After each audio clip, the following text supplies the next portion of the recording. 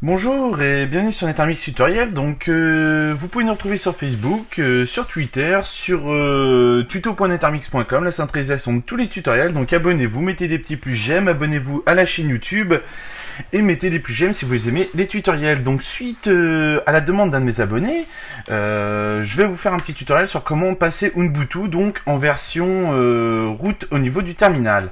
Donc euh, pour ce faire, il suffit d'aller dans le terminal. Donc si vous l'avez pas, vous tapez terminal ici et le terminal apparaîtra. De là, vous cliquez donc sur le terminal. Et de là, nous voyons bien que l'utilisateur, donc, c'est Netarmix. Donc, euh, pour passer en mode route sur euh, Ubuntu, il suffit simplement de faire un sudo su. Et de là, il nous demande le mot de passe de notre ordinateur. Donc, on écrit le mot de passe de notre ordinateur on fait entrer et de là nous pouvons voir que nous sommes en mode route donc sur notre Ubuntu.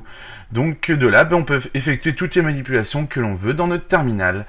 Donc euh, cette vidéo était très courte et j'espère qu'elle vous aura plu et vous pouvez dire merci euh, à un de mes abonnés pour euh, cette vidéo. Donc voilà, donc je vous dis à bientôt sur Netarmix tutoriel.